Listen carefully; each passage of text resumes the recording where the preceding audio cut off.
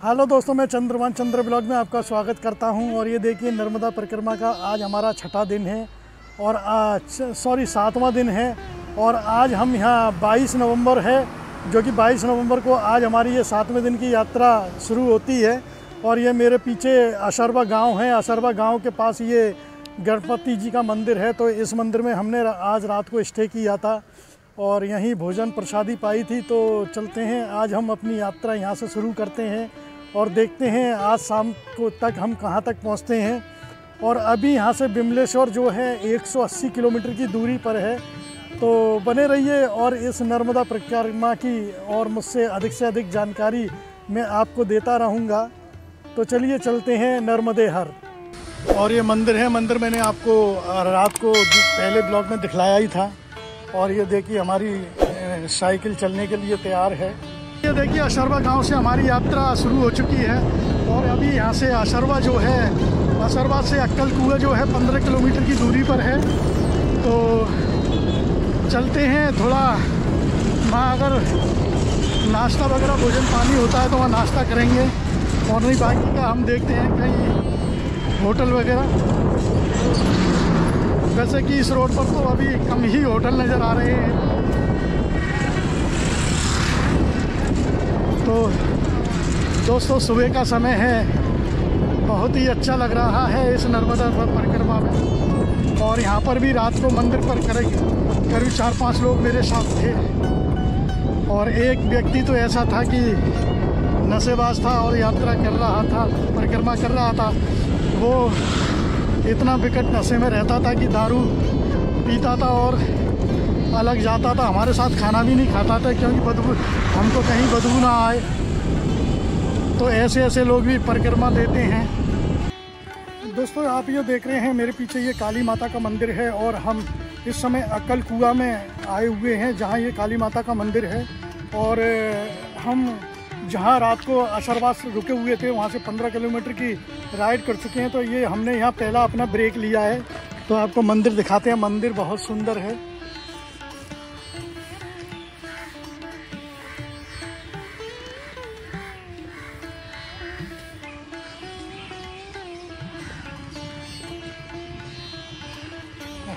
और ये इस समय हम काली मंदिर पर चलते हैं।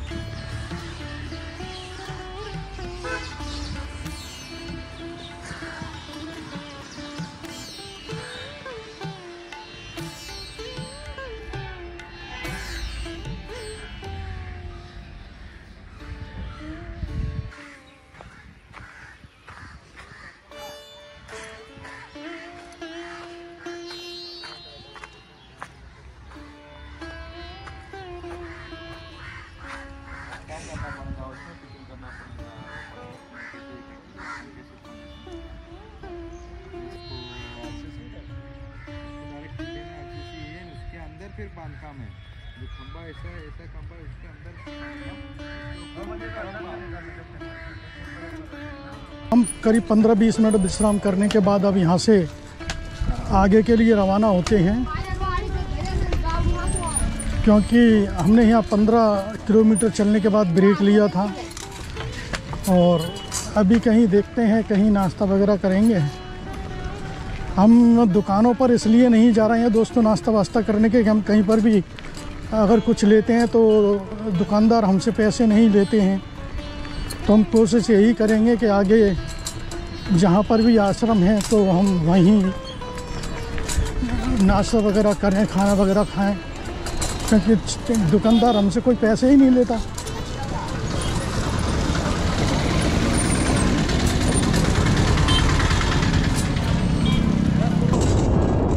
जहाँ रात को हम रुके थे गणपति मंदिर पे आशापरा में वहाँ नेटवर्क की समस्या थी तो ना ही हम वीडियो एडिट कर पाए, ना ही अपलोड कर पाए।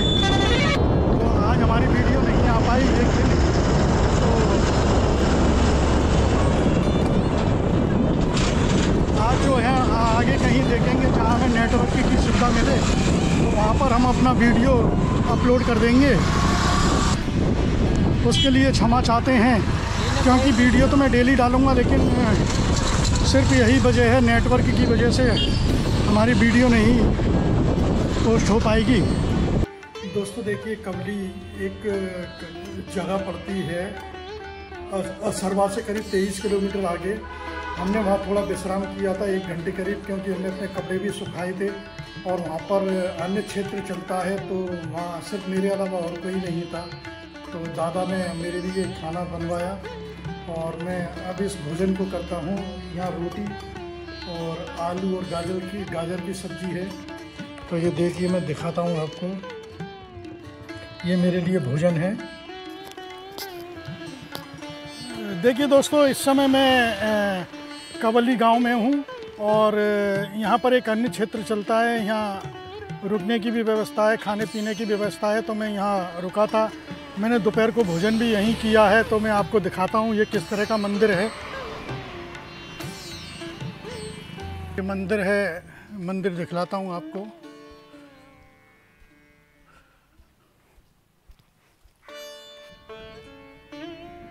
रामदेव बाबा जो राजस्थान में है मेन रामदेवरा।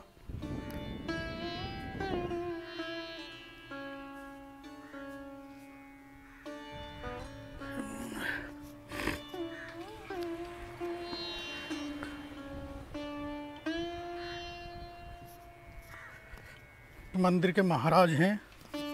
ये यहाँ, इस आश्रम में यही संचालन करते हैं। और ये बिटिया है। क्या नाम है बिटिया तुम्हारा? शीतल। शीतल। आप बाबा? हैं? देवजीत जी। ये देवजीत जी हैं। ये दोनों ही यहाँ, ये आपकी बेटी है ना? ये इनकी नातनी है। और ये, यहीं पर ही इनका आश्रम में रहते हैं। और ये परिक्रमार्थियों के लिए खाने पीने की व्यवस्था करते हैं। तो देखिए दोस्तों, इस समय मैं अभी जिस आश्रम से चला था, एक किलोमीटर आगे चला आऊँगा तो देखिए ये भैया स्टॉल है यहाँ। इन्होंने मेरे को आवाज़ दे के बुलाया तो मैं यहाँ के लोगों को देख कर के आश्चर्य हो जाता है मुझे कि यहाँ परिक्रमार्थियों के लिए, यहाँ के लोगों में कितना समर्पण है और कितना भाव है और कितना आदर और सम्मान दिया जाता है। तो मेरे को यहाँ इन्होंने एक चाय बिस्किट वगैरह मैंने बिस्किट तो मैं अभी खाना खा के चला था लेकिन मैंने चाय पिया है। और ये भैया जी हैं आपका सर नाम मोहन भाई। ये मोहन जी हैं और इन्होंने अ, आदर और सत्कार के लिए बहुत बहुत धन्यवाद। और ये बहन जी हैं बैठी हैं तो आपका भी बहुत बहुत धन्यवाद। इतना सेवा भाव इस परिक्रमा में देखा जाता है देखा गया है और देख रहा हूँ। इतना सेवा भाव कहीं पर भी नहीं है, आप किसी भी घर पर भी जाओगे तो आपको खाना वगैरह सब उपलब्ध करा दिया जाता है।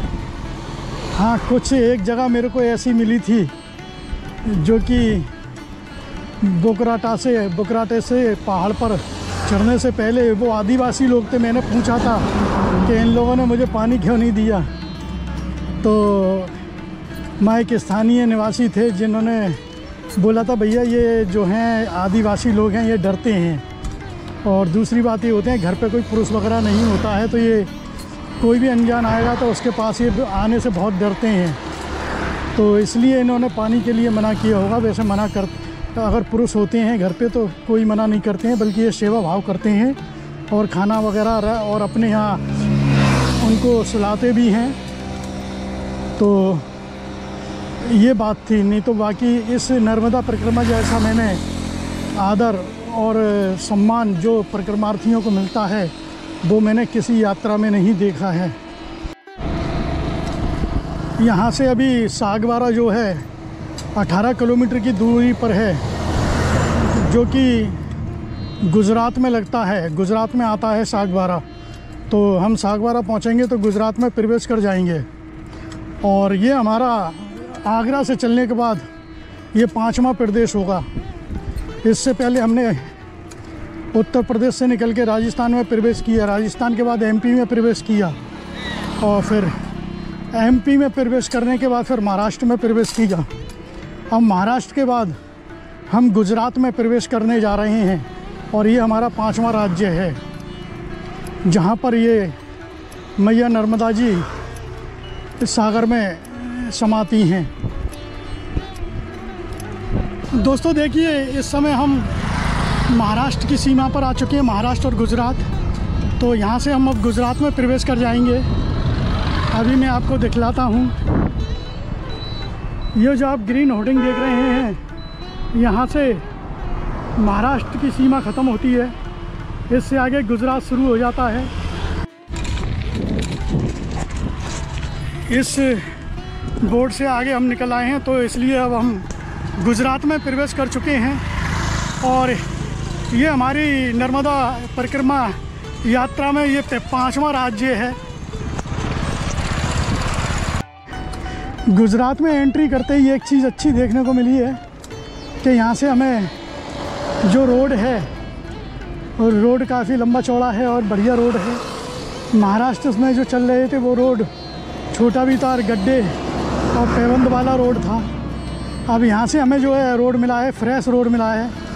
तो इसमें साइकिल चलाने में और अच्छा लगेगा। दोस्तों, इस समय हम सागवारा में से होकर के गुज़र रहे हैं और सागवारा से आगे पड़ा, पहाड़ी हैं, उन पहाड़ियों पे हमें चढ़ना है और सागवारा से दो किलोमीटर पहले से ही चढ़ाई शुरू हो गई है। इसलिए हमें पैदल उतर के चलना पड़ रहा है।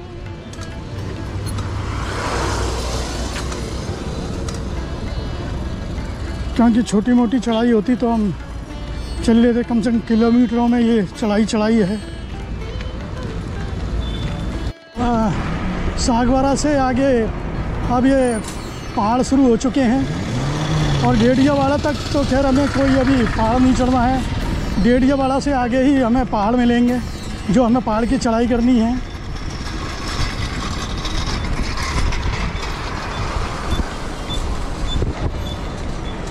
हमको एक किलोमीटर पहले आश्रम बताया गया, एक किलोमीटर आगे।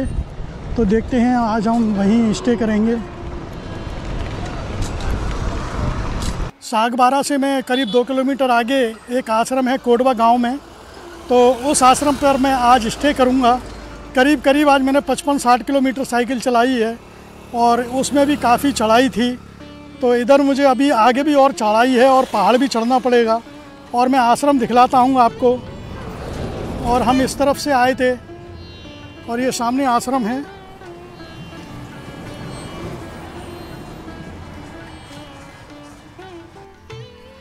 एक मिनट। और ये देखिए, अंदर से मैं आश्रम दिखलाता हूँ। ये मंदिर है सामने। यहाँ ऊपर अभी हमारा सामान रखा हुआ है, वहीं रुकेंगे। और ये आश्रम है, इस मंदिर को ये संचालन करते हैं। ये सरला बहन और ये फूल सिंह बावड़ा और ये यहीं रहते हैं। तो बहन जी आप इस आश्रम को कब से चला रही हैं?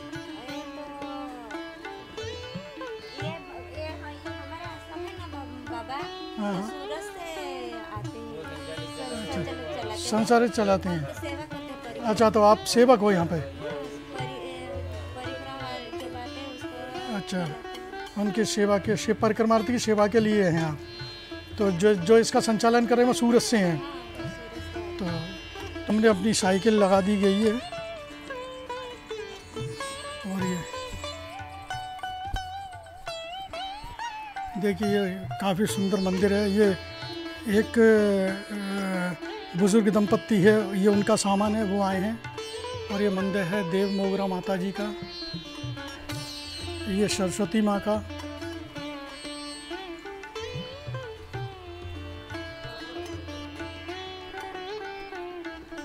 शायद ये रामदेवरा जी हैं शायद, रंगवली। आश्रम काफ़ी सुंदर है और देखिए, अभी हमने बिस्तर इसलिए नहीं लगाया क्योंकि शाम को आरती वगैरह होगी तो यहाँ कुछ आरती में भी आते हैं भक्त तो हमें पता नहीं किस जगह खाली मिलेगी तो हम उस जगह, उस समय यहाँ अपना ये लगा लेंगे हमारा, हमने अपना लगेज यहाँ रख दिया है।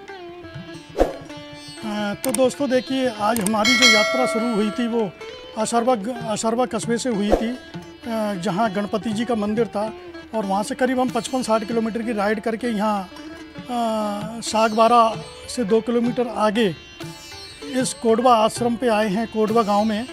तो आज हम यहीं विश्राम करेंगे और यहीं भोजन करेंगे। तो दोस्तों, इस इस नर्मदा यात्रा का इस यात्रा से संबंधित जो भी वीडियो है मैं आपके लिए लाता रहूँगा। तो दोस्तों, यह मेरा वीडियो अगर आपको पसंद आया हो नर्मदा यात्रा का तो इस वीडियो को लाइक और शेयर और सब्सक्राइब करना। प्लीज़ प्लीज़, धन्यवाद। और नर्मदा यात्रा से जुड़ी हुई आपको हर अपडेट मैं देता रहूँगा।